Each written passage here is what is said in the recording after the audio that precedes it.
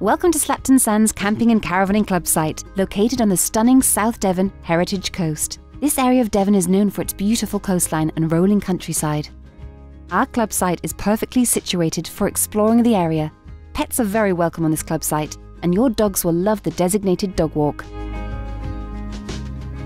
Slapton Sands is only a few minutes' walk from the campsite.